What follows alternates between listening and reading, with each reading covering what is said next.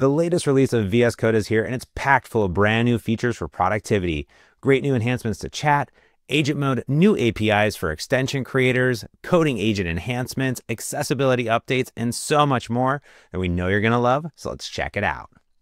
Let's get started with chat. And the first thing I want to talk about are brand new models that you can integrate into your workflow today, including Claude Sonnet 4.5 and GPT-5 Codex. They're available in the model selector, so bring it up, select one, and let it rip. Now, you may have also noticed some brand new customizations in the empty state of the chat, including recent chat history and suggested actions. Chat history shows me the most recent chats, and we can just go ahead and select one and pick up exactly where we left off. You can enable it by right clicking and simply selecting chat history. Also, don't sleep on the little gear up here for configuring chat settings and different chat infrastructure, such as prompt files, instructions, toolsets, modes, MCP servers, and even the availability to generate agent instructions with one click. These are super powerful, enabling you to guide the model to return better results based on your coding standards, project integrations and technologies, and a lot more. So definitely give that a go today if you haven't set up your agent instructions yet. All right, let's talk about these suggested actions. What are they and how do you get them here? Well, these are different prompts that I use often when starting a new chat, like doing planning and creating reusable components. Well, where do they exist? Well, they exist over in my prompts folder here. We can see them, but how did I get them from prompts over into suggested actions? Well, if you right click on the empty state, you can configure it. This will filter down the settings to show you the history and also prompt file recommendations.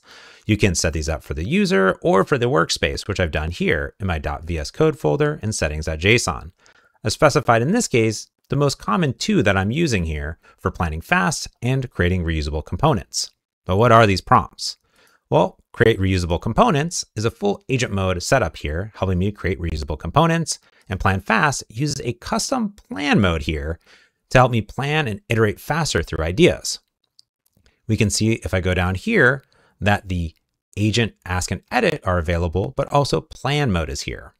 And that is because under chat modes, I've set up plan.chatmode.md. This is a custom chat mode that I've created here to help me research and draft implementation plans. It uses a bunch of different tools that are built in, but also ones from extensions like here, the GitHub pull request extension and the GitHub MCP server.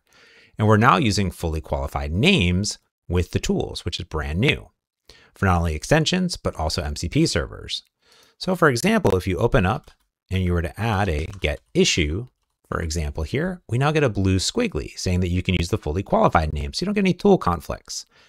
You also get an action over here to update it automatically. If you use configure tools, you can select them. And when you hit OK, it'll automatically use the pre-qualified names for you, which is awesome. Let's go ahead and use one of these suggested actions. I'm going to do plan fast. I'm going to iterate on a new idea that I really want to add to this application, which is the ability to select sort of different files and then select between them. So I'm going to go ahead and send this off. And the first thing that we'll notice is that it will automatically change to plan mode and the model that I've selected. And this is really cool. The chain of thought is now being updated in real time. Previously, I would just see thinking or working here, but I can now see exactly what the model is thinking. And that will really help me debug in real time what it was going on. So here, if I drop this down, I can see the full chain of thought and thinking that the model was going through. I can also see that it was using a reference here to agents.md, which is also available. So now we're going to go ahead and have it go ahead and do some additional research and multiple things are happening. It's a research, it's working, and it's giving me updates in real time as it helps me generate this plan. So let's go ahead and let it work. Okay, so it's generated a full plan here for me for adding CSV source switching and uploading here for me. Now it's in my plan mode, so it may ask me some additional questions as well or specify some edge cases. But when I'm ready, I could toggle it back over to agent mode, or I could click the brand new delegate to the GitHub Copilot coding agent. When I tap on that, it's now going to use the full context of the entire chat here to delegate the entire task off to the coding agent. This is really powerful. And if the context is very large, VS Code will automatically summarize and condense the information to fit the window. Here, it will start the delegating of the coding agent, and we'll see a pull request open for us automatically as the coding agent works in the background for me. Here it is. Pull request is open and we can see the coding agent getting to work, setting up the project, and it'll start implementing this right away. I can now go over into my chat sessions and here we can see that chat session ready to go. I can bring it up at any time now or later. Additionally, if I want to ask it to do and delegate some new work to the coding agent, I can click on this new button and delegate work right away. It'll spin up just like that. So I can monitor my active local sessions and my remote coding agent sessions as well, as well without leaving VS Code. And there is tons more built into this release, including tons of enhancements to bring your own key for custom models. Agent mode can auto reply to prompts in the terminal. And additionally, there's brand new keyboards and accessibility features to help you manage your chats. Let's talk about ways that we as developers can extend chat and agent mode to provide additional context and actions that the model can perform. We can configure tools. So for example, built-in tools into VS Code, like editing files, fetching, scaffolding new projects, running terminal commands, and a lot more. Extensions can also provide additional tools as well, such as the GitHub pull requests extension, which allows us to grab the active pull requests, open pull requests, and delegate to the coding agent. I could install additional extensions, or I could configure remote or local model context protocol servers or MCP servers that provide additional tools and prompts and more for us. If I go now into the extensions, we can see my installed extensions, but I can also now see the MCP servers gallery. This shows us recommended servers from the GitHub MCP registry. I can browse through them and read about them, such as Figma, Azure, Stripe, Notion, Neon, and a lot more. And I can even search by saying at MCP and search for GitHub, for example. This will show me the information about the MCP server, and I can one click install. In this case for GitHub, it's going to ask me to go ahead and authenticate. It'll use the built-in broker here, and I'll select my account. And now we can see that I have brand new tools available. Not only the built-in, but the ones coming through the MCP server for GitHub. So for example, I could easily come in and say, show me the open pull requests. This is now going to go off, look that I have the GitHub MCP server and use it to actually pull it from it automatically and then summarize it back down. That's super duper nifty. So I can automatically create new issues, open pull requests, get information and have the model summarize it for me. Now, one of the most powerful new features that were added in this release was the ability for extension creators to contribute prompts, modes, and instructions.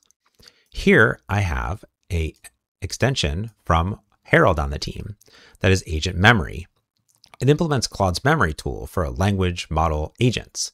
So that way we can store memories that can be used later on. So let's create a new chat here.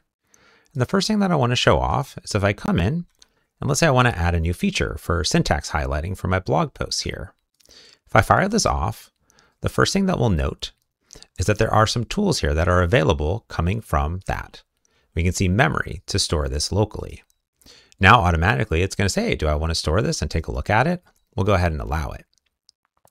Now on top of this, this new tool is available, but if I also come in and hit slash, we can see all of the available prompts that are coming in, such as remember, memory summarize, and memory compress coming from that extension. And in addition to that, if we also go down into the mode, we can see that there is a memory manager mode that is coming from that extension. This mode does not exist inside of my .github slash chat modes because it is coming directly from the extension. And those are just some of the ways that you can easily now extend and optimize working with chat and agent modes from MCP servers and extensions. The last feature I want to show off is the ability to resolve merge conflicts with AI. Here I've been implementing a new feature to do fuzzy search for the text. But if I take a look at the graph, I can see that someone has pushed to main a new change in this file. So I'm going to go ahead and pull up from main. So let me go ahead and do that now and see if there's any merge conflicts. And unfortunately, yeah, there's merge conflicts. So now I can go ahead and tap on this file. I can see that I can resolve in the merge editor, or I can use this new button, resolve conflicts with AI. So I'm going to start a new chat I'm going to go ahead and tap on that button to resolve conflicts with AI. Now, the context needed between both branches is being sent over into agent mode to help resolve the merge conflicts. So here it identifies a merge conflict in the file. It's going to examine the conflict and resolve it for me automatically. It identified the changes between the different branches and it's applied the patch for me automatically. So now it's going to go ahead and update any of the logic that is needed in the file. Okay, it looks like it's gone ahead and resolved that merge conflict. I can keep the changes, review them, and commit them into my source control, and I'm good to go. Resolve merge conflicts with AI is available in preview today, so give it a try, and we can't wait to hear what you think. So give us your feedback. All right, there you have. Those are just some of the updates in the latest release of VS Code. Be sure to browse all of the amazing release notes, documentation updates, and so much more, and let us know what your favorite features are in this release in the comments below. And with that, happy coding.